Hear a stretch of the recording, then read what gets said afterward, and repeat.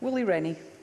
Uh, I'm keen to use control areas for the East Nuka Fife to protect full-time residents eh, and also for workers as well. But I am concerned that the argument over the licensing scheme may be holding that up. I'm interested in the Association of Self-Caterers idea for a registration scheme that I know the government is against.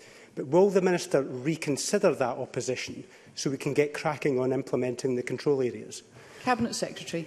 Uh, well, so le let, let me repeat. Um, councils uh, have had the, the power to establish short-term let control areas. It came into force in April of this year. So uh, Edinburgh are already looking at making the whole of Edinburgh a control area. And as I said previously, Highland are looking at Badenoch and Strathspey, and it would be, uh, I think, good for uh, Willie Rennie uh, and Fife Council to discuss potentially the, the East Nuke area as well. So this is a particular power that will be used by local authorities in areas that they decide uh, in consultation with local people and, of course, with consultation with ministers.